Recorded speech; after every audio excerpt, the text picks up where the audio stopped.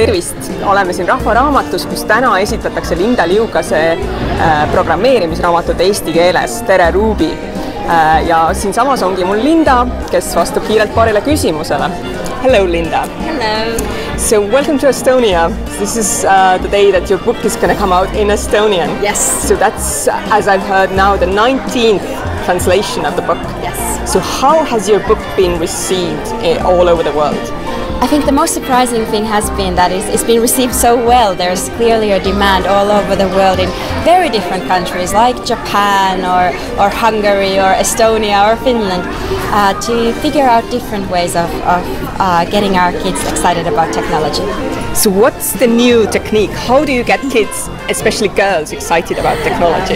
It's an age-old technique. It's called a storybook because when I was growing up, some of the, the most important life lessons I got were from characters and we're from stories. So books like Moomin or Astrid Lindgren's books, like they really shaped the way I saw the world. And I wanted to write a storybook that would kind of have role models for little kids and introduce computational thinking concepts for kids even before they write their first line of code. And after the kids have finished the books and they're all excited about that, how do we get that concept into the classroom?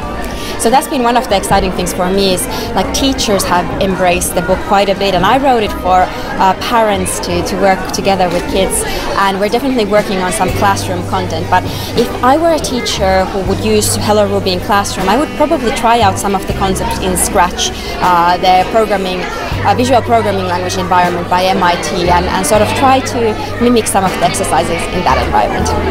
But for those who, uh, like parents and teachers uh, both, who might be a bit worried that their kids spend a bit too much time on screens, what would you say? I'd say that not all screen time is equal.